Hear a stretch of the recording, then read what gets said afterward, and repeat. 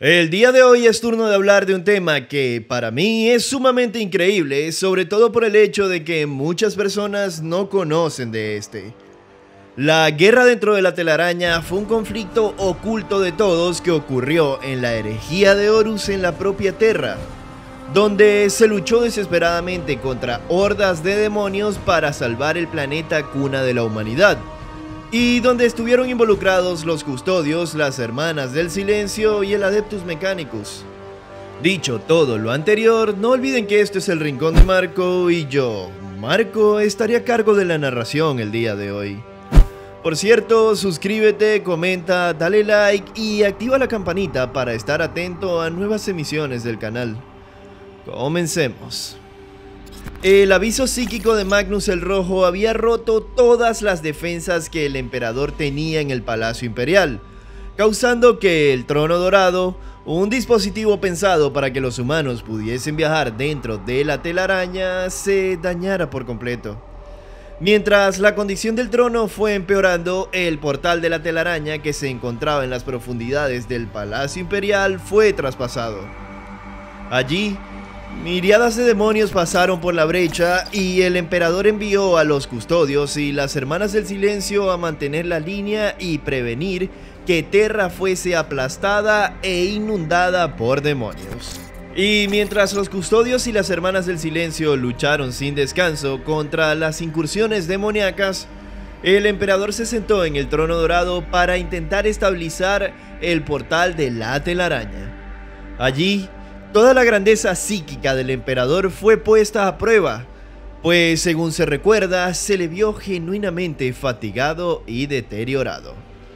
La guerra dentro de la telaraña forzó al emperador a tener toda su atención puesta allí, dejando que la guerra que se libraba contra Horus fuese llevada a cabo por Malcador y Rogaldorn. Como curiosidad, Malcador era el único que visitaba al emperador con regularidad. Más temprano que tarde, la guerra dentro de la telaraña comenzó a tener un patrón bastante marcado. Los custodios establecían una serie de bloqueos por todos los túneles dentro de la telaraña. Detrás de estas áreas de defensa, trabajadores del Mechanicum estaban reparando secciones dañadas de los túneles y sellando las fisuras para prevenir que más demonios se colaran dentro de esta. Frente a las barricadas, los custodios y las hermanas del silencio lanzaban rápidos contraataques para mantener las hordas demoníacas a raya y no permitir que se fuesen aglomerando, pues esto representaría un problema mucho mayor. Lentas pero seguras, las fuerzas imperiales fueron llevando las barricadas más adelante mientras los demonios perdían fuerza en su embiste. No obstante, muchos demonios hallaron la manera de pasar el portal e ir directo a los calabozos imperiales y más allá. Mientras la guerra rugía, nuevas tropas aparecieron entre las hordas de demonios que atacaban a las fuerzas imperiales. Los poderes de la Urdimbre enviaron marines espaciales traidores de los hijos de Horus, los portadores de la palabra, devoradores de mundo y los hijos del emperador, así como titanes y máquinas poseídas por entidades del gran océano. También todopoderosos demonios incluyendo devoradores de almas de Korn o grandes inmundicias de Norgal. Allí se luchaba una batalla por el Palacio Imperial, el destino del imperio y la propia vida del emperador. Y todo ese peso recaía sobre los hombros de los custodios y las hermanas del silencio. Por muy catastrófico que sonara, si los demonios no eran vencidos, toda la humanidad estaría condenada.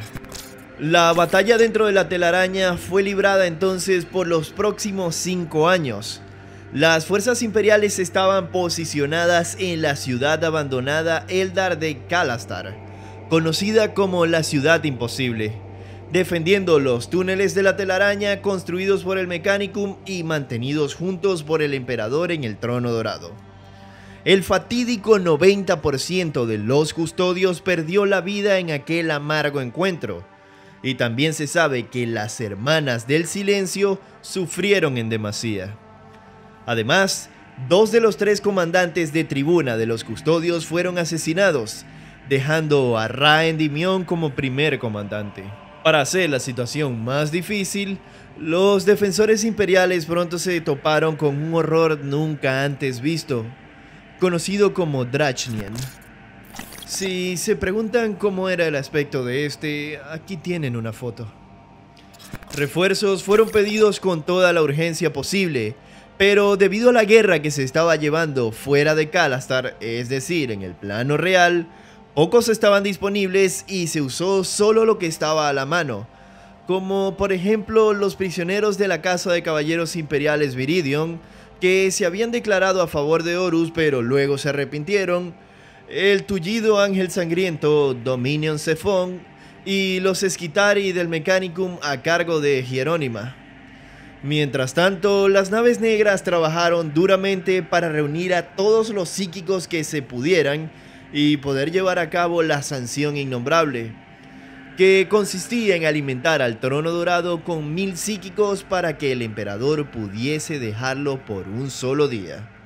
En el posterior asedio de Kalastar, los custodios lideraron todas las fuerzas para hacer retroceder a las incontables hordas del caos, pero los muros de la ciudad se quebraron gracias a los disparos de los titanes Warhound de la Legión Audax.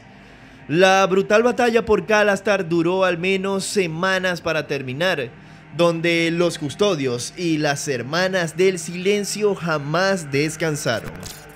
Mientras demonios, legionarios traidores y titanes del caos se fueron acumulando más y más en la ciudad imposible, Jerónima ordenó a sus fuerzas del Mechanicum a retirarse y dejar a los custodios y las hermanas del silencio a su suerte, mientras intentaban asegurar un portal a Marte y reclamar su planeta sagrado. Esta traición desesperada no salvó a Jerónima, quien fue poseída por Drachniem, quien usó su forma gigantesca y mecánica para atacar a las fuerzas imperiales. En poco tiempo, Kalastar cayó y las fuerzas del caos condujeron a los imperiales a la propia Tierra.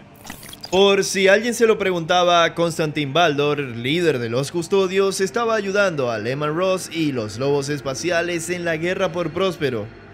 En cualquier caso, Genetia Kroll estaba presente, y vaya que era una guerrera más que digna para dicha contienda. Justo en ese momento, la sanción innombrable fue finalmente realizada.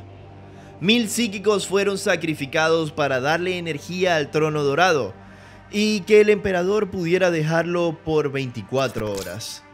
Libre de su prisión por un día, se sumergió en el portal de la telaraña y apareció como una estrella ardiente ante las hordas del caos.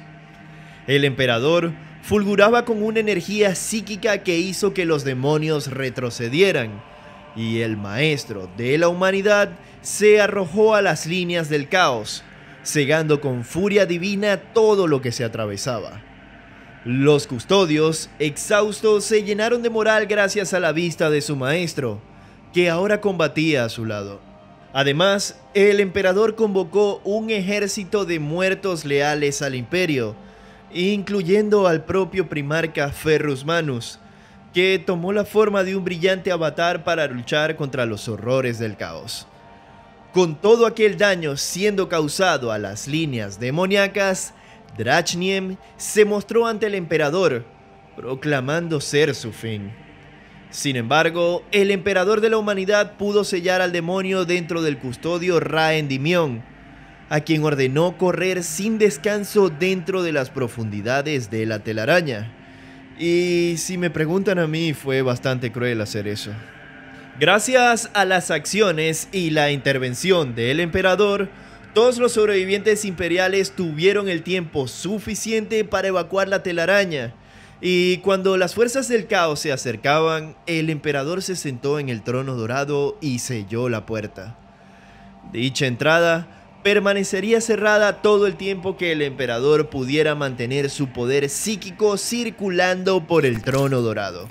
Solo el emperador podría mantener la puerta permanentemente cerrada, y para él los esfuerzos eran extremadamente difíciles, pues los demonios se arremolinaban como tiburones del otro lado de la puerta.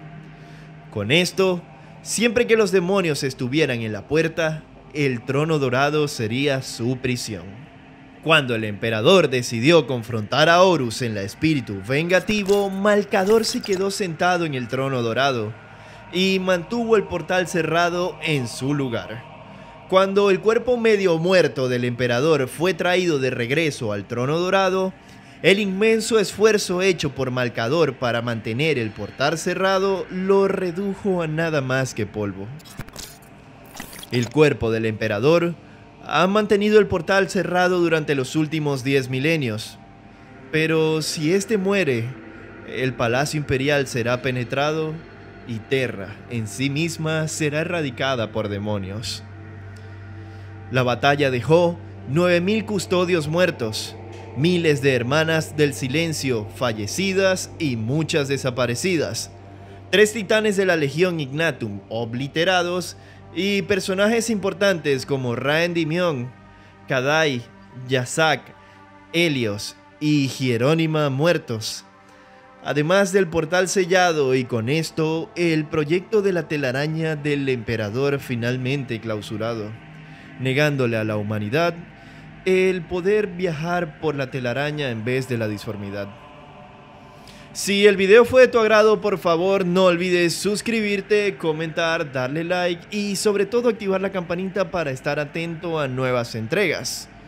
Además, si quieres ayudarme en Patreon, te dejo el link en la caja de información.